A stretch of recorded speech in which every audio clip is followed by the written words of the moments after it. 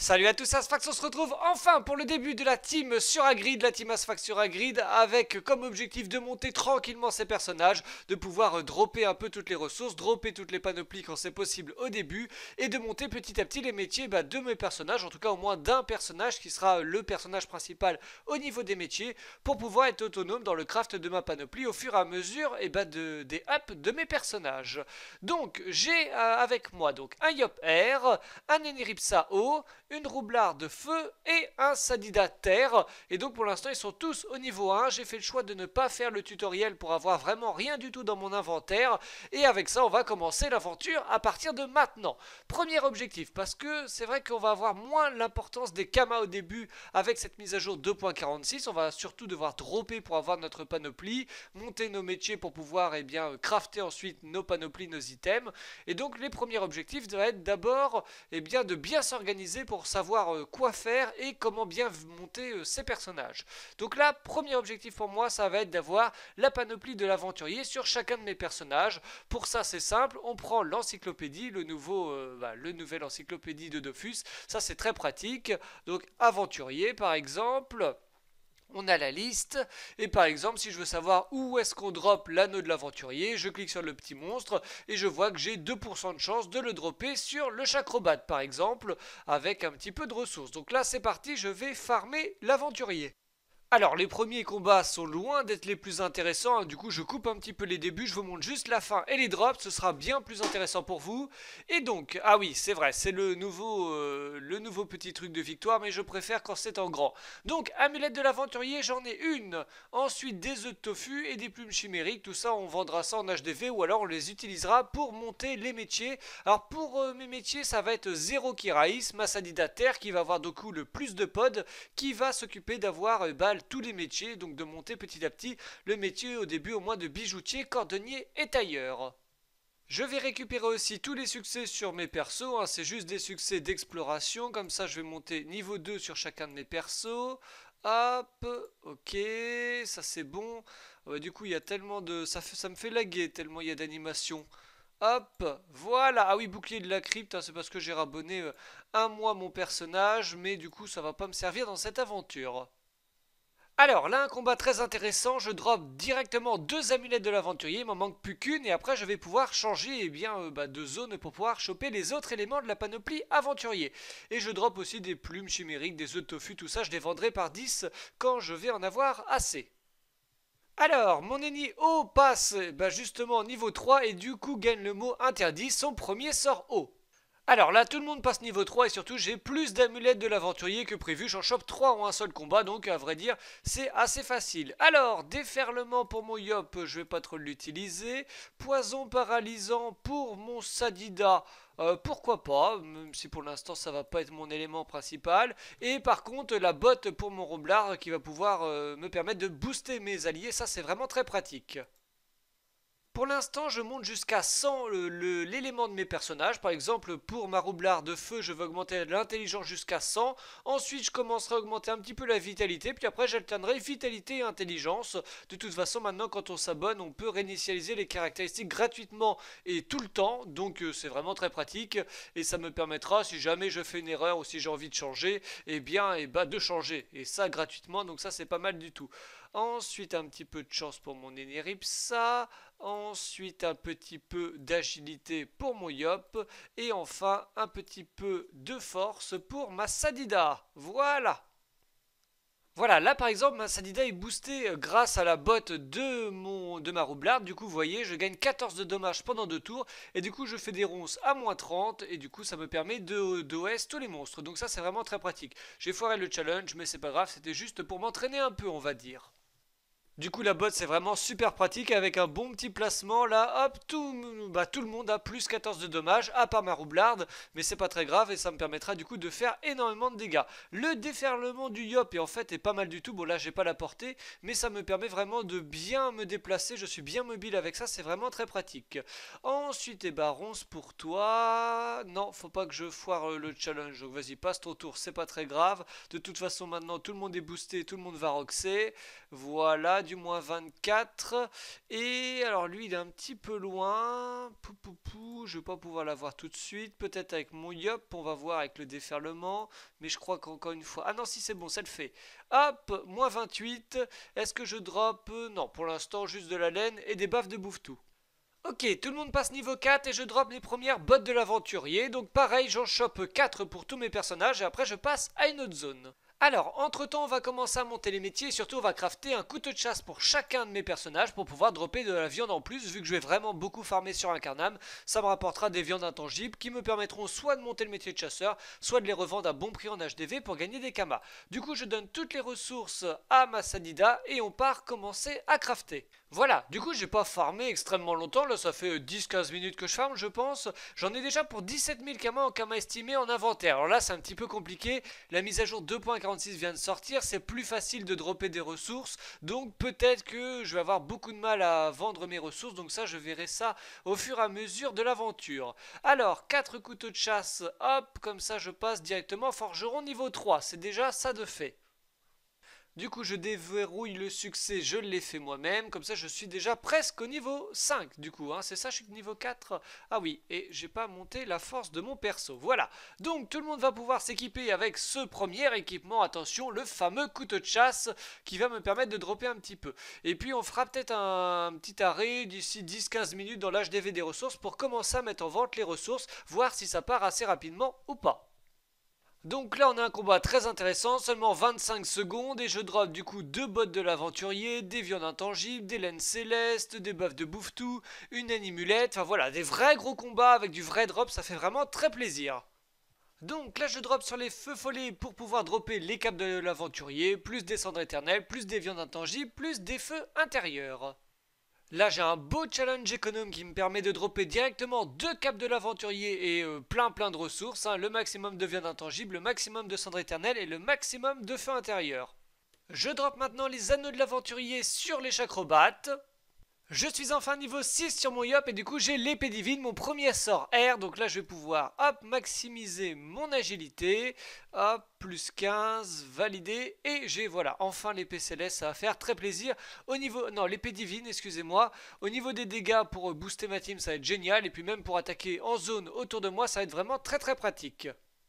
Je pars maintenant dropper les ceintures de l'aventurier sur les petits gloutes.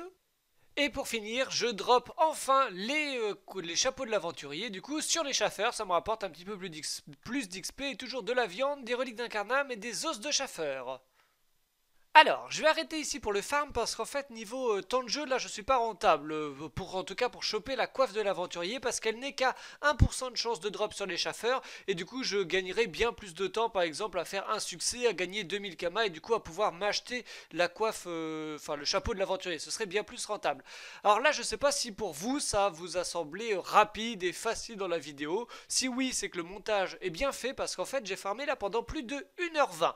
Alors par contre, après, niveau kama, si jamais les ressources se vendent au prix auquel ils se vendaient avant la mise à jour 2.46, je serai vraiment très très rentable. Hein. Je vais vous montrer un petit peu là, ma Sanida n'a même pas toutes les ressources sur elle parce que euh, elle est trop lourde, mais euh, j'en ai déjà pour plus de 62 000 kamas, j'ai plein de viande intangible, enfin c'est déjà énorme au niveau des sous, j'ai, enfin regardez tout ce que j'ai euh, tout ce que j'ai farmé quand même, il y a déjà 71 pots de glue, 38 queues de chapardam, 64 cendres éternelles, donc on a dit des viandes intangibles, il y en avait plein, des feux intérieurs. Il me reste ensuite une cinquantaine de viandes intangibles sur ma roublarde, d'autres ressources. Plus évidemment tous les équipements de la panoplie aventurier. Donc un chapeau, j'ai réussi à en avoir qu'un seul, euh, bah, qui me permet déjà d'avoir une superbe bonne team. Donc là, l'objectif, monter le plus rapidement possible la team au niveau 12 pour pouvoir enfin équiper les bouts de panoplie aventurier. Et pour ça, on va partir sur Astrub, sur les contours, enfin sur le nouvel Astrub d'ailleurs, pour pouvoir eh bien, XP un peu plus rapidement qu'un Incarnam. Me, voici donc plutôt à l'hôtel de vente des ressources où je vais enfin pouvoir tout vendre. Donc j'ai donné tous mes kamas de ma team à Massadida pour pouvoir eh bien, respecter euh, les, euh, les minces, les taxes de vente. Donc mode vente, c'est parti. On va trier par prix moyen du lot. Donc les 100 viandes intangibles, on va essayer de les vendre. Je dis bien essayer à 13 499. Ça me fait une grosse taxe de mise en vente, mais c'est pas grave. On va essayer d'en vendre quelques-unes par 10. Et alors là, je fais gaffe parce que j'ai que 14 places dans mon HDV. Donc on va mettre un petit peu de tout et puis on va voir ce qui part, ce qui part pas, à quelle vitesse. Donc ça, c'est les cendres, ok. Les gloutes 859, ok. La laine 1996, ça me paraît un petit peu cher. Je suis pas sûr que ça parte à ce prix-là. On va en mettre que 10 pour voir. Euh, de gloute, ok. Que de chapardame 759. Ensuite, baffe du bouffe tout ça vaut rien. Laine céleste, donc on a dit on attendait. Les reliques ça vaut rien. Les trucs de chauffeur ça vaut rien. Les pétales, ok, bon je vais plutôt mettre en vente euh, les trucs qui valent quand même un peu cher, genre des pots de gloute encore. Et puis, feu intérieur, c'est combien? Ah, il n'y en a pas en vente. Ah bah ça c'est parfait. On va mettre à 2500 les 10. Voilà, du coup j'en ai pour 30 000 kamas dans mon HDV. Est-ce que ça va partir ou pas? Je suppose que oui, parce que les prix sont pas aberrants. C'est un petit peu cher peut-être mais euh, cela dit, euh, le taux de drop d'un Carnam c'est déjà assez facile, donc pourquoi pas? Peut-être que ça va marcher, donc on va attendre de voir, et si j'ai des preuves de vente, je vous montre tout ça en vidéo. Alors, on va commencer par des petits combats. On va pas exagérer. Donc là, une première larve bleue qui est maintenant magnifique avec la mise à jour. Normalement, je devrais pouvoir la gérer assez facilement. Alors, mes personnages sont un peu éloignés les uns des autres, ce qui n'est pas très pratique. On va invoquer quand même un petit lapin pour avoir des PA et surtout de la vie pour mon Yop pour pas qu'il meure. Et après, mon Yop, normalement, avec les épées célestes, ça de épée divine, j'ai un peu du mal, excusez-moi, ça devrait bien le faire. Donc là, par exemple, euh, ah oui, je tacle pas, dommage. je vais faire une petite intimidation. Donc je fais du moins 18 et du moins 18. Donc ça va, il perd assez vite en point de vie. Bon bah les autres, au fond, je suis désolé, vous n'allez pas être très utile. Je vais vous faire passer vos tours. Hop. À la limite, euh, non, je peux même pas soigner. Non, bah c'est pas grave. Mon Yop va finir comme ça. Il va se faire soigner de toute façon par le Lapino. Bon bah du plus 4, c'est pas énorme, hein, on est d'accord. Hop, là je fais du moins 19. Ah ouais, en fait, je fais du moins 38, mais il a des gros boucliers. Du moins 31. Je vais reculer un petit peu comme ça. Je vais le faire venir un petit peu vers moi. Hop. Et le challenge, oui, bon, bah le challenge devrait être assez facile à faire. Hop. Oula. Tac. Ouais, le lapin qui soigne du 3 au début, il sert pas à grand chose, hein, dis donc. Ok, épée divine, cette fois-ci je finis. Donc je gagne à peu près 1000 d'XP pour chacun de mes personnages. C'est toujours 10 fois plus que ce que je gagnais sur un Carnam. Et au niveau du drop, ok, une peau de larve. Et du coup, j'ai quelques personnages qui passent au niveau 8. Ça va me permettre d'équiper du coup pour eux donc l'amulette de l'aventurier et l'anneau. Donc j'ai l'amulette pour euh, mon Yop. Est-ce que toi tu peux mettre l'anneau? Oui, c'est toujours ça de prix. Et c'est qui le deuxième? Hop, est-ce que c'est ma Sadida? J'ai pas bien vu. Voilà, comme ça ça m'améliore un petit peu mes personnages. Avec les succès, mon Yop aussi passe au niveau 8, donc je lui passerai aussi euh, un petit anneau hop, de l'aventurier j'augmente encore son agilité. Alors, beaucoup plus difficile mais beaucoup plus rentable en XP, on va essayer de gérer un groupe de 3 Pew. Donc hein, les Pew, alors le challenge va être un petit peu compliqué. Je pourrais le faire mais il roxe tellement, j'ai peur, euh, peur de ce que ça va donner. On, va essayer, on va essayer parce que par contre voilà, plus 110% d'XP ce serait vraiment pas mal. Donc pourquoi pas, on va se booster premier tour et on va voir si c'est si faisable de le faire. Donc du moins 24, ouais c'est quand même énorme. Euh, est-ce que, bah, à la limite lui on peut déjà le taper à la limite sans se booster énormément en fait. Je vais déjà lui enlever euh, deux tiers de ses points de vie, donc ça devrait pouvoir le faire. Mon Yob va pouvoir finir au tour prochain. Voilà, et en plus va pouvoir booster et lui et la Sadi. Ok, ça c'est bon. Ensuite, Maroublard, euh, c'est lui. Ouais, d'accord. Donc Maroublard va aussi pouvoir être utile en faisant une belle extraction et puis à la limite petite botte pour booster Massadida. Ouais, ça c'est bon. Il faudrait que mon ennemi puisse terminer le yop, pour pas, le yop, euh, le pew pour pas que ce soit trop dangereux. Donc on va faire ça. Ah, j'ai plus de portée, mince. Est-ce qu'il y en a un? Ouais, ok, bon, à la limite ça. Moins 27 et moins 3. Ok, c'est bon, il m'en reste plus qu'un. Et normalement, avec les doubles ronces de Massadi, ça se trouve, ça suffit. Si elle a la portée. Ok, elle n'a pas la portée, très bien. Et pour mon Yop, est-ce que un déferlement... Euh, c'est risqué parce que ma roublarde elle va pas pouvoir euh, terminer si jamais je rate derrière. Donc on va laisser passer le tour du Pew. Voilà, et là cette fois-ci on va pouvoir commencer à taper. Et normalement c'est bon pour le challenge. Hop, moins interdit. Ça va soigner un peu le yop, ça fera pas de mal. Hop, et ensuite Sadida, et c'est bon. Tac. Voilà, challenge réussi, donc ça ferait euh, pas mal d'XP à mon avis. Voilà, niveau 9 avec la folle pour mon Sadida. Oh la vache J'ai jamais vu un drop euh, comme ça. J'ai droppé quasiment toute la panoplie, c'est n'importe quoi.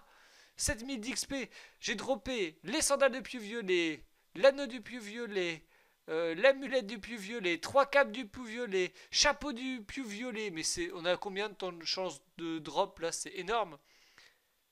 2% seulement. Ah la vache Alors ça par contre, très très beau drop, je suis très content. Ah et j'ai aussi le mot stimulant sur mon Eneripsa, donc ça c'est pas mal du tout également. Les drops sur les Pew sont franchement excellents. Hein. Je me demande même, hein, maintenant que j'ai un petit peu de recul, si j'ai bien fait de perdre une heure et demie à faire euh, du, de l'incarnam. Enfin, c'est pas perdu parce que je vais avoir pas mal de kamas qui vont arriver d'un coup. Mais quand on voit la facilité à dropper la panoplie du Pew, qui est quand même un petit peu meilleure que la panoplie de l'aventurier, je me dis j'ai peut-être perdu un petit peu de mon temps. Je vais peut-être en fait farmer les Pew et puis euh, me mettre à fond en panoplie Pew. On va voir ça. Euh, ça pourrait être pas mal quand même pour mes personnages. Le problème, voilà, c'est juste en attendant le niveau 20 qui va arriver assez vite pour avoir la panoplie du bouffe-tout pour certains. Donc euh, je vais voir un peu comment je m'organise, mais de toute façon pour l'instant, je continue d'XP dropper contre les Pew. Voilà, tous mes personnages sont niveau 11, donc d'ici un level, je pourrai équiper la quasi-totalité de la panoplie. Euh, du coup, euh, d'ailleurs, je vais pouvoir maintenant, parce qu'en fait, vu que j'ai pas les chapeaux, c'est pas grave. Je peux déjà mettre tout le reste de la panoplie de l'aventurier sur mes personnages, et ça va m'aider pour pouvoir dropper à fond sur les Pew. Même si, encore une fois, regardez, c'est vraiment assez simple. Je continue le drop sur les Pew, je devrais avoir assez rapidement la panoplie complète en fait pour chacun de mes personnages. En attendant, bah, peut-être la panoplie bouffe tout pour les niveaux 20, mais cela dit par exemple pour les personnages chance, c'est-à-dire pour mon Eniripsa ou pour les personnages R comme eh bien mon Yop, eh bah peut-être que finalement une panoplie Pew pourrait être suffisant plutôt qu'une panoplie Mosquito ou Tofu qui sont peut-être un petit peu plus euh, difficiles à avoir ou un petit peu moins intéressantes, je sais pas trop. Faire un petit mix entre du Pew et du Mosquito, ça devrait être pas mal du tout pour mes personnages. Alors, vu que ma team est plus ou moins euh, bien équipée avec une panoplie euh, de l'aventurier, on va essayer un gros combat contre des Je suis franchement pas sûr de gérer, le challenge pareil, ça va être très compliqué, mais là au moins on va pouvoir utiliser à fond mes personnages, c'est-à-dire bien booster avec le Yob, bien booster avec la Roublarde, essayer de soigner avec les Niripsa, afin d'essayer de faire un vrai travail d'équipe. On va tenter ce défi. Alors, euh est-ce que par exemple ça vaudrait le coup de faire un arbre qui bloque, etc. alors à la limite juste là pour bloquer un petit peu la ligne de vue des pieux pour pas qu'il m'enlève la portée tout de suite, pourquoi pas? Ensuite, au niveau de la euh, stimulation de... On va plutôt la mettre, hop, pour moi ça Dida. On va invoquer un petit lapino comme ça, je vais avoir des PA aussi et un petit peu de points de vie en plus, enfin en tout cas un petit peu de soin. Et pour ma roublarde, du coup, elle va pouvoir donner un petit coup de botte au moins à ces deux personnages là pour augmenter leurs petits euh, dommages. Et puis pourquoi pas commencer à placer des petites explobombes. Hein, même, vu que le combat va être un petit peu plus long, j'ai moyen de faire des murs de bombes peut-être un peu intéressants. Après voilà, pour l'instant j'ai pas grande portée avec les explobombes, donc il n'y a pas moyen de faire des murs euh, super super. Ok, euh, là où est-ce que je suis placé? À la limite, je vais mettre plutôt ici pour pas prendre trop trop cher au niveau des dégâts. On va commencer déjà à bien attaquer un Pew. Ah, J'hésite, hein, j'aimerais bien essayer de faire le challenge. Là, plus 100%, ça pourrait être pas mal. Mais ouais, ça va être... Euh, oh la vache, moins 41, ça va être un peu complexe. Ok, euh, Massadi, est-ce que j'ai moyen de blesser un petit peu? Faudrait que je... 42, j'ai peur de la tuer. Allez, je fais pas le challenge, tant pis s'il meurt. Voilà, il meurt pas, donc encore une fois, le challenge est pas, fou, est pas foutu. Il est pas foutu totalement. Alors là, il se tente. Hop, voilà. Et de 1 et de 2. Ça me fait déjà 2 plus en moins. Par contre, je suis presque mort déjà sur mon Eniripsa. Et il gagne plus 4 points de vie, donc c'est pas énorme. Ok. Euh, là pour l'instant, mur de bombe, euh, oui et non, parce que de toute façon j'ai pas aimantation pour pouvoir mettre dedans. Donc à la limite, extraction je tue pas, non, je ne tue pas. Et euh, je vais mettre un deuxième mur de bombes là, comme ça s'il y en a qui s'approchent, je fais péter toutes, enfin, toutes les bombes. Ah d'accord, il est fait péter avant moi, sinon ça pouvait faire une belle explosion assez sympa. Ok, mon yop. Allez, plus de plus d'ennemis, ok d'accord. Euh, on va se mettre là. Je fais du moins combien C'est bon, je tue pas. Moins 45. Et là, je tue pas. Non, non plus. Ok, bien. Et du coup, peut-être que ma Sadida, si elle a encore de la portée, oui, parfait, va pouvoir tuer ce pieu rouge. Hop. Et tuer ce pieu bleu. Ok, pour l'instant, tout roule comme sur des roulettes, à part peut-être que j'ai perdu mon Eneripsa. Alors là, euh, le problème c'est que si je le tue, j'ai pas moyen d'en tuer un autre, donc on va plutôt booster mon Yop. Voilà. Mon Yop est bien placé, là il doit pouvoir tuer les deux. 50, oui ça le fait. Tac. Et en plus ça booste Masadi. Ok.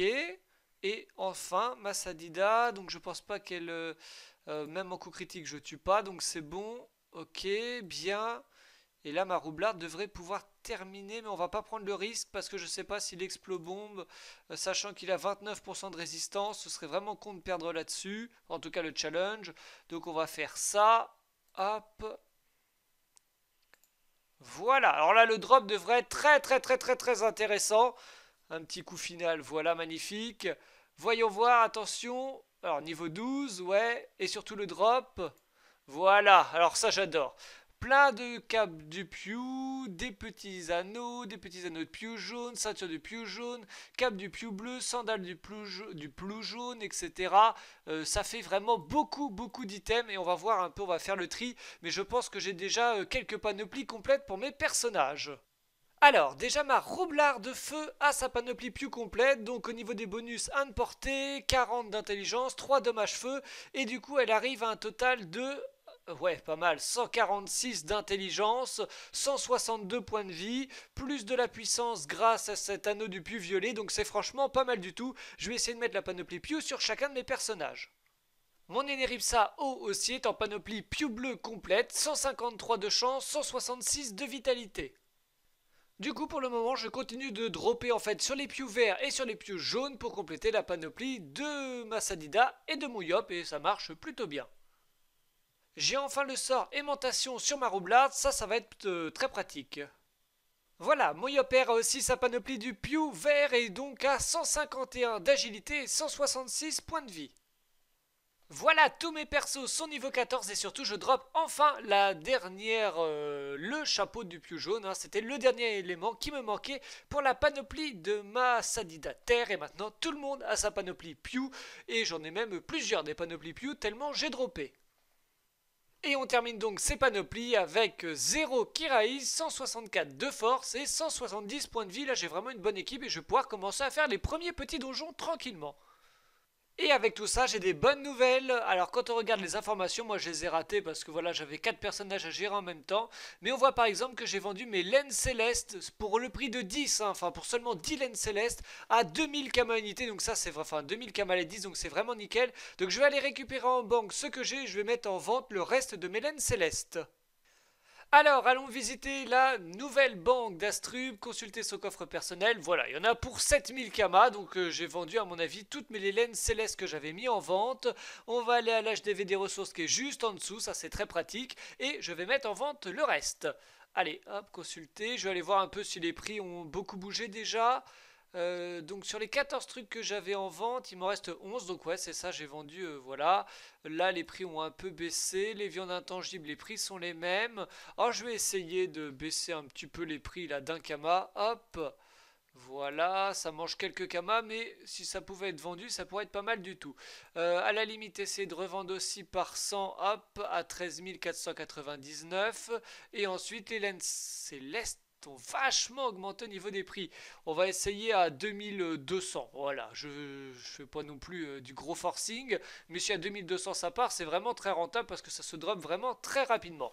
Voilà, en tout cas pour ce premier épisode, ma team est stuffée en Pew au complet, et du coup on se retrouvera très bientôt pour la suite pour like, les et puis les premiers donjons. Merci à tous d'avoir suivi ce premier épisode de la team Asfax sur Agrid. N'hésitez pas à vous abonner, à mettre un like si vous avez apprécié la série, enfin en tout cas ce premier épisode, et on se retrouve bientôt pour la suite. Salut